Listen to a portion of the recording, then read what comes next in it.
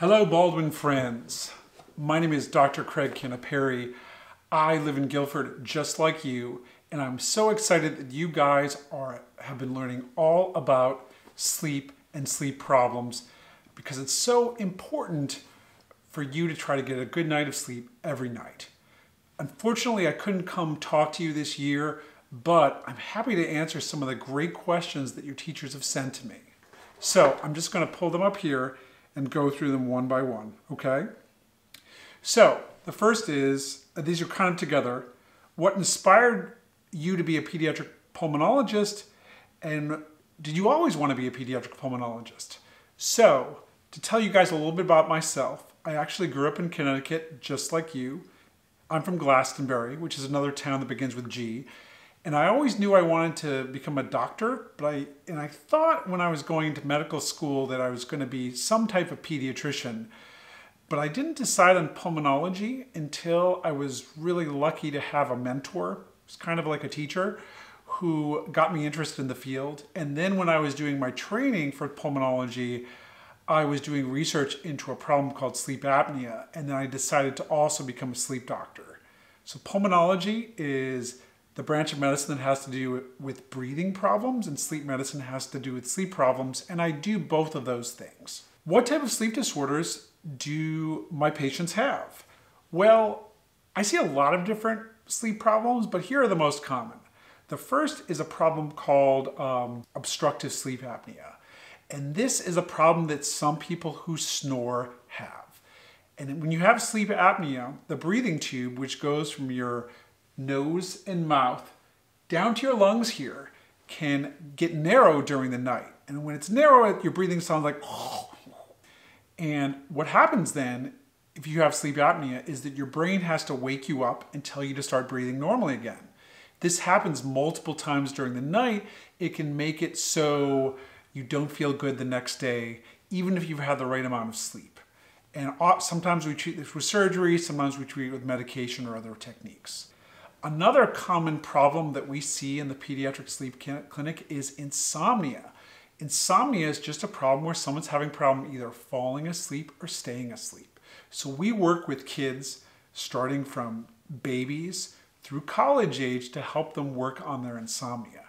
I'm going to talk about two other problems that are less common but still really interesting.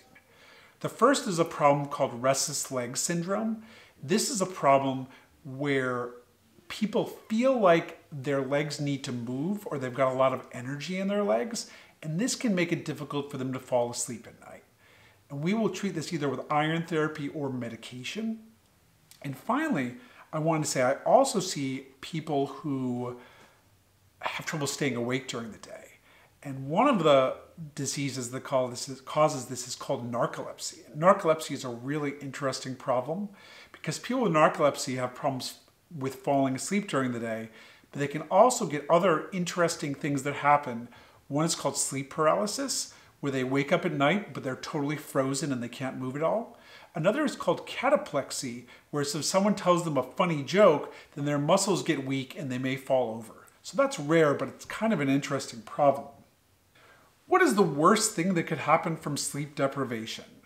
More commonly, people that are chronically sleep deprived, and this is, we'll talk about this in a little bit with teenagers, people who are just not getting enough sleep every night, this can affect them in a couple of different ways. The first is it can make it harder for them to pay attention in school.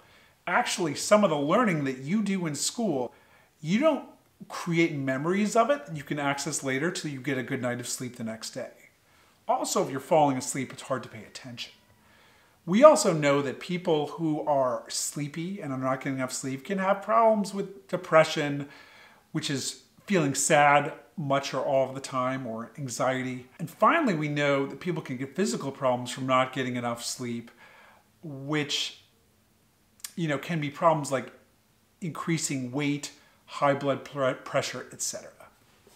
Sorry, I just want to go back here. What are the most interesting things you've learned in your journey as a pediatrician?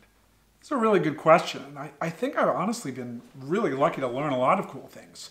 First of all, I learned that medicine is a team sport, meaning that when I work in the hospital, I work with nurses, physical therapists, respiratory therapists, pharmacists, etc. We all work together to make sure the children that we're taking care of are getting the best possible care. Another interesting thing I've learned is I, have seen children from all over the world. Some, many of the children I see have been born in Connecticut, but some have been born elsewhere in Latin America, in Asia, etc. And I've learned that you know kids are more alike than different. They may have they may speak different languages, their families may eat different types of food, but they all like spending time with their family and friends. They all they all enjoy uh, honestly a lot of them enjoy playing video games. They enjoy sports. And it's actually really fun to talk to kids about the things that they're interested in. And I learn interesting things every day from my patients when they come in and tell me about the problems they're having or the things that they've solved or even the interesting things that they're dealing with that have nothing to do with, uh, with the reason they're coming to see me. For example, I saw a young man in clinic today who has his hobby is repairing electronics and he's working on repairing a 20 year old Xbox. Uh, it was pretty cool. How many patients do I see on a daily basis? So on the days that I see patients, it's pretty typical for me to see about 20 patients. Uh, we could I could probably see more, but I want to make sure I have enough time to talk to every child and parent who comes in to see me and come up with a good plan so they walk out of the clinic feeling confident that we're going to fix their problems. How often do I have patients that are struggling with sleep? Pretty often, actually. Of the patients that I see, I'd say about a half of them come for breathing problems and half of them come for sleep problems. Some of them have both. Why does having not enough sleep affect teens so much? I would argue that not having enough sleep affects everyone. We just know that it's more likely for teenagers to have difficulty with sleep. And the reason the reason for this is as people become teenagers, and you guys right now in 6th grade, believe many of you are 10, 11, 12.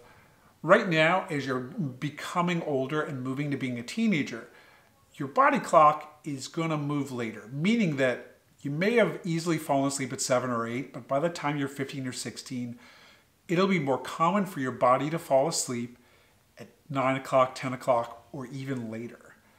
We also know in Guilford, like in many other towns, school starts earlier. So when people's bodies tell them to go sleep later, but they have to get up earlier, it makes it harder for them to get enough sleep.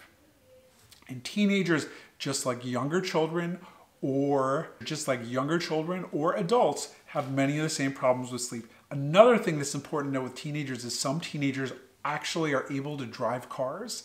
And we know that it's not safe to drive if you're sleepy. So that's a really important safety thing for us to think about with teenagers to make sure they get enough sleep before they drive just like for your mom or dad. Why does not enough, uh, sorry, why is REM sleep important? So this is a great question. There's different types of sleep. There's non-REM sleep, which includes stage one, really light sleep, stage two, which is about half of the night, and stage three, which is deep sleep or slow wave sleep. REM sleep is dream sleep. And if we look at the brainwave measurements we take in the sleep laboratory, that REM sleep looks like the most like being awake. And what's interesting about REM sleep is if you wake up from a dream, if you wake up from REM sleep, you're wide awake. You can actually tell someone what you were dreaming. Whereas you wake up from other types of sleep, you're really sleepy and you may not even remember it the next day, and you're not going to be able to tell someone a story about what you were thinking about. Another thing that's interesting about REM sleep is your body is totally paralyzed during REM sleep, except for two sets of muscles. The first is the muscles around your eyes, and the second is your diaphragm. So REM stands for rapid eye movement sleep. One of the ways we know people are having it is because their eyes are moving during it. Another is because we can see that their muscle tone and all their other muscles is going down. The reason it's important is some types of learning, the technical term is encoding, happen only during REM sleep. And REM sleep tends to happen more in the second half of the night, like in the early morning. So if someone has to get up too early or is not getting enough sleep, they may miss one or two REM periods. It makes it harder for them to learn. How much sleep is recommended for teens? So let's back up a little bit. Let's say for preteens, like people your age, the, the sleep recommendations are usually 9 to 11 hours of sleep. For teenagers, it's more in the 8 to 10 hour range, and everybody's a little bit different in terms of what they need. What advice do I have on getting a good night of sleep? Uh, A couple of things. First of all, I don't want you to worry sometimes if you're having a if you're struggling to sleep on one or two nights in a month. This is normal. And sometimes people get really worried if they're having a bad night of sleep. Everybody's entitled to struggle with sleep once in a while. But in general, what you need to do is try to go to the bed at the same time, more or less, every night. And get up kind of at the same time, because if you're moving your schedule around every night, it's hard for your body to know when you to sleep. When it's hard for your body to know when it should fall asleep and when it should wake up. Another thing that's important is to try to avoid screens before bedtime.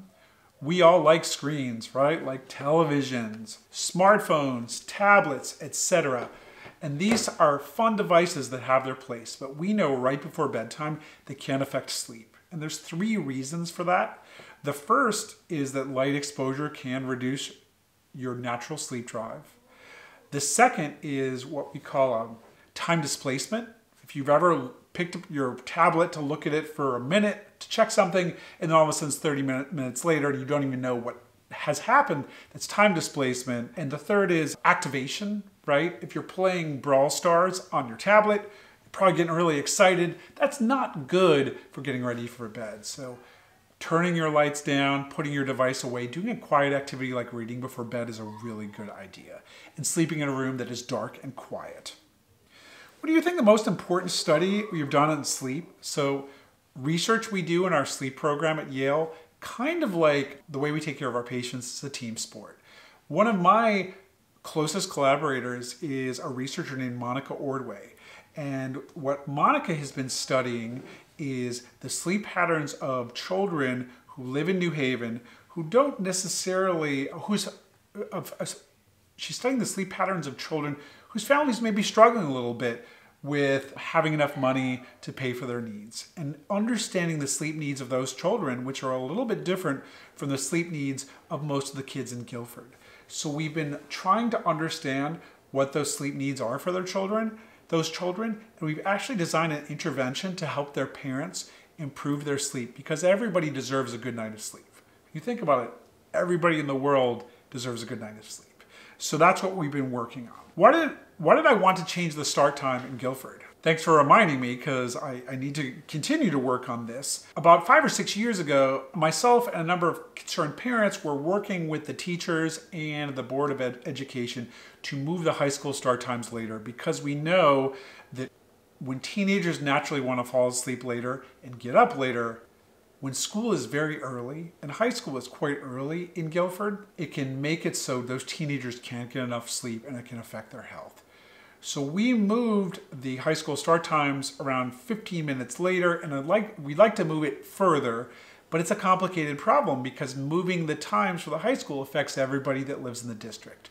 Um, we actually, have, I have been working a little bit with people at the state capitol, to see if we could do this across the state and the state, the state of California this fall had put into effect a law saying that nobody can start high school before 8.30. And I think that's a better way to do it than to try to change it in each town like we do in Connecticut right now. And finally, what is my sleep routine? Great question. I try to put my devices away about an hour before I go to bed. So I usually go to bed around 10:30. So I try to be off the television, off my phone, etc. by 9:30. I'll get into my pajamas. Usually I'll read a book and do, you know, just try to be very relaxed when I get into bed. Uh, and I, I try not to vary the time when I go to bed too much. I actually track my sleep with this funny little ring right here, which is called an Oura ring.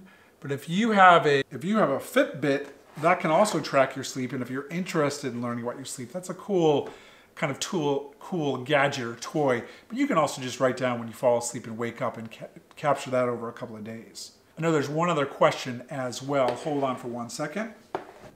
So one last question I had was, can we see your dog Zelda? And the answer is yes. Let me get her right now. So if you have a dog, you know they sleep like 18 hours a day. So this girl, when she's not running around and barking at kids in our neighborhood, sorry kids, she is sleeping. So anyway, I really appreciate your questions. And if your teacher, if you have any more questions, let your teachers know. And they know how to get a hold of me. And I wish you sweet dreams. Thank you very much.